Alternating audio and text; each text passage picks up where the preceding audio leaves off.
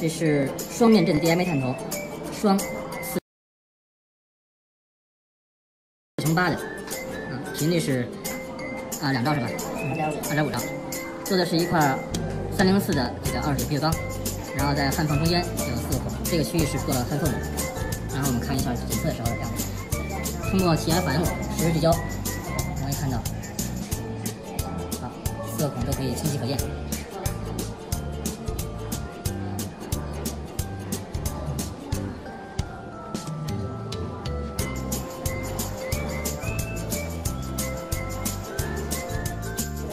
现在是跨焊缝检测，在焊缝的一侧，然后做焊缝另一侧破口面的这个一开孔。也是可以出来。